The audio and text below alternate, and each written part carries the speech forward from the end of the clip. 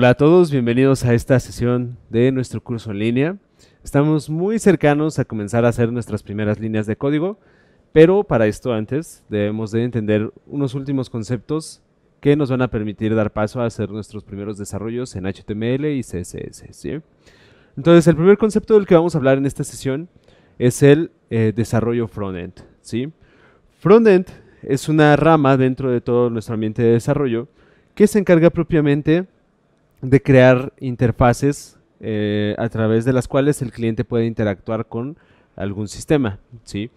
Eh, pensemos en cualquier página web que se nos ocurra y cada que accedemos nosotros lo primero que visualizamos es una interfaz a través de la cual pues, nos presenta la información del propio sitio, nos presenta campos entre los cuales podemos eh, agregar información, nos presenta botones, menús, fotos, imágenes, etcétera, etcétera. Todo eso que nosotros vemos de primera instancia al acceder a un sitio es lo que se conoce como frontend. ¿sí? Nosotros como desarrolladores frontend nos vamos a encargar de crear estas interfaces basados en un diseño que nos llegue o nos brinde algún equipo de diseño. ¿sí? Y bueno, para poder lograr esta interacción, nos vamos a ocupar de tres herramientas fundamentales. La primera va a ser HTML, que ya lo hemos mencionado varias veces. La segunda va a ser CSS y la tercera va a ser JavaScript. Y JavaScript va a ser nuestro lenguaje de programación como tal, ¿vale? Entonces, la primera de estas tecnologías, es decir, HTML, eh, es lo que vamos a definir a continuación. ¿sí? HTML es un lenguaje de marcado, no hay que confundir lenguaje de marcado con lenguaje de programación.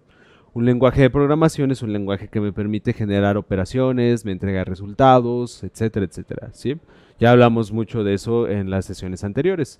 Un lenguaje de marcado, como lo es HTML, es un lenguaje que me va a permitir a través de líneas de código crear una estructura visible para el usuario detrás de una interfaz o dentro de una interfaz, ¿sí? Por ejemplo, eh, en el caso de HTML, mi navegador lo que hace es interpretar todas estas líneas de código, todas estas etiquetas y generar diferentes componentes como podemos verlo en este ejemplo. ¿sí? Lo que yo voy a lograr es a través de las etiquetas que podemos ver aquí, crear toda una estructura en la cual yo voy a insertar mis diferentes elementos que son todo lo que va a conformar la interfaz de usuario que estoy desarrollando. ¿sí?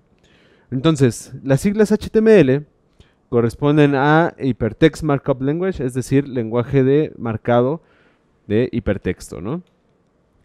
Eh, actualmente estamos trabajando con la versión 5 de HTML, ¿sí? Ha habido diferentes versiones y cada versión nos ha brindado diferentes características. La versión HTML5, dentro de las eh, principales novedades que nos ha brindado, es la estructura semántica, ¿sí? Por estructura semántica debemos entender a una eh, clasificación de etiquetas para generar contenido específico dentro de un sitio web. ¿sí? Por ejemplo, tenemos la, semántica de encabezado, de barra de navegación, de artículos, de pie de página, secciones, etcétera, etcétera. ¿sí? Cada una de estas estructuras se va a definir a través de algo que nosotros llamamos etiqueta. Estas etiquetas, que son de diferentes tipos, me van a permitir indicar el tipo de contenido específico que yo quiero declarar en mi interfaz. ¿sí? Tenemos, por ejemplo, la etiqueta de sección, de artículo, de header, de footer, eh, body, etcétera, etcétera. Vamos a ir hablando de cada una de las etiquetas y qué es lo que hace conforme vayamos avanzando con nuestro desarrollo. ¿sí? Pero lo importante es saber que estas etiquetas se declaran a través de esta sintaxis. Ya hablamos de lo que era una sintaxis dentro de un lenguaje. ¿sí? Esta sintaxis es una etiqueta de apertura, que está declarada de esta forma, y una etiqueta de cierre. Las etiquetas en sí se inician con una cuña de apertura o nuestro signo de eh, menor que, el nombre de la etiqueta y nuestro signo mayor que para cerrar el inicio de esa etiqueta. ¿sí? Y para definir una etiqueta de cierre, nosotros vamos a tener la cuña de apertura, un slash, el nombre de la etiqueta que estamos cerrando y eh, nuestra cuña de cierre. ¿sí? Esto como tal conforma una etiqueta de HTML y pueden ser de diferentes tipos. Lo que podemos ver en este ejemplo es una estructura básica de cómo es que está formado un documento de HTML. Como podemos ver, todo es una serie de etiquetas apiladas y anidadas eh, entre sí. ¿sale? La primera etiqueta que tenemos va a ser la etiqueta doctype y esta etiqueta me va a permitir indicar el tipo de documento que yo estoy definiendo, que en este caso es un documento de HTML. ¿sí?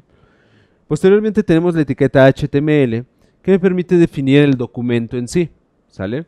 Esta parte es, eh, digamos, el nombre del documento o más bien el tipo de documento que estoy haciendo. Y esto como tal es ya la estructura o la entidad del documento en sí. ¿vale? Y esto tiene algo importante de HTML que podemos ver aquí, que se llama atributo. Cada etiqueta de HTML tiene un respectivo atributo. Estos atributos me permiten definir características específicas de mi HTML. Por ejemplo, en este caso tenemos el atributo lang que me permite indicar el lenguaje en el que va a estar codificado mi desarrollo. Estos atributos tienen a su, vez una contraparte que se llama valor. El valor me va a servir para definir, eh, pues como tal, cómo es que va a quedar mi atributo. Por ejemplo, el caso del atributo language recibe como valor la abreviación de los diferentes tipos de lenguaje que yo tengo disponibles en mi HTML, como puede ser español, inglés, este, alemán, francés, italiano, etc. Hay toda una lista de los lenguajes disponibles que podemos insertar en nuestro HTML. ¿sí? Entonces, en este caso, con la abreviatura EN, queda definido como idioma inglés. ¿sí? Y esto es un atributo de HTML. Posteriormente tengo la etiqueta head. ¿sí? La etiqueta head me va a servir como el encabezado de mi HTML pero para insertar datos que no van a ser visibles todavía hacia el usuario. Con que no son visibles todavía me refiero a que no estamos declarando nada que se pueda ver aún en nuestro eh, desarrollo. ¿sí? Esta etiqueta head me permite insertar características propias del documento en sí, como lo puede ser el título que podemos ver aquí, o lo puede ser el, eh, esta etiqueta que se llama meta. Dentro de ese head yo también voy a poder referenciar mis documentos externos, como lo podrían ser los, eh, los archivos de CSS que puedo declarar. Puedo conectarme a URLs externas para extraer eh, fuentes o extraer iconos o extraer cosas que yo pueda usar dentro del navegador. En general, la etiqueta head me sirve para eso, para insertar datos y características de mi documento que no van a ser visibles como tal en el navegador, ¿sí? o propiamente en mi desarrollo. Después tenemos este tipo de etiquetas meta, ¿sí? que son etiquetas muy específicas para indicarle cosas muy específicas al navegador. Por ejemplo, este meta está destinado a indicar el set de caracteres que yo voy a usar a través del atributo charset. ¿sí? El set de caracteres implica todos los símbolos, todas las letras, todas las eh, eh, propiamente los símbolos como tal que voy a usar dentro de mi desarrollo. ¿sí? Eh, puede que en alguna ocasión nos haya pasado que vemos un desarrollo y tiene por ahí símbolos extraños, eh, donde debería de ir quizá una ñ o donde debería de ir un acento o algo por el estilo. Bueno, esto sucede cuando dentro de mi documento yo no tengo especificado un set de caracteres eh, universal. ¿sí? En la medida en la que yo use un set de caracteres universal, voy a poder hacer uso de todos los iconos que a mí se me ocurran sin problema y sin que se sin preocuparme porque se vayan a visualizar de una forma incorrecta dentro del navegador. ¿sí? Entonces, en este caso, el valor del atributo charset va a ser UTF-8. UTF-8 es un estándar eh, universal para codificaciones. Entonces, no deberíamos tener ningún problema de este lado. Posteriormente tenemos la etiqueta body y esta etiqueta body es muy importante porque es justo donde se va a representar todo lo que esté en mi DOM todo lo que yo inserte eh, en esta etiqueta body es lo que sí se va a visualizar en mi navegador. Por ejemplo, tenemos la etiqueta H1 que habla, en la que yo estoy indicando un encabezado, ¿sí? para eso me sirve. Y eh, estoy colocando texto dentro de ese encabezado. De igual forma estoy colocando una P, que es un párrafo, y me sirve para insertar algún párrafo dentro de mi HTML. Y como podemos visualizar en el ejemplo, al verlo en mi navegador, lo que voy a obtener como resultado es un encabezado y un pequeño párrafo. En este mismo ejemplo, podemos percibir algo muy interesante. Si se dan cuenta, tenemos una etiqueta de apertura, una etiqueta de cierre, y dentro de ellas yo estoy insertando mis demás etiquetas. Esto es porque HTML funciona como si fuera una, una caja que a su vez tiene diferentes cajas dentro, ¿sí? cada vez más pequeñas y con contenidos diferentes.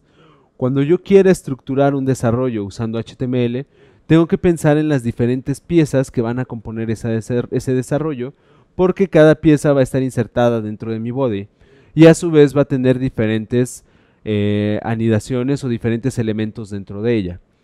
A estas anidaciones y a estos eh, diferentes niveles de HTML que nosotros vamos a ir insertando, los vamos a conocer como nodos. ¿sí? En este caso, por ejemplo, tengo mi body y dentro de mi body tengo un nodo que corresponde al H1 y tengo un nodo que corresponde a mi elemento P. ¿sí? Es importante entender este concepto de nodos porque a través de ellos es que nosotros podemos definir reglas de CSS o podemos definir funciones de JavaScript que van a interactuar con cada nodo en específico. ¿Sale? Entonces, en términos generales, HTML me va a permitir estructurar el documento a través de estas etiquetas. ¿sí? Eh, en la práctica vamos a ver cómo vamos insertando más etiquetas y cuál es el resultado que me van entregando. Una vez que yo inserto estas etiquetas, puedo abrir mi desarrollo en un navegador, cualquier navegador web, y voy a obtener el resultado derivado de las etiquetas que yo haya usado, como podemos ver en este ejemplo. ¿sí? Por default, mi navegador ya le entrega ciertos estilos o ciertas formas de visualización a cada uno de los elementos, dependiendo de qué tipo de elemento sea.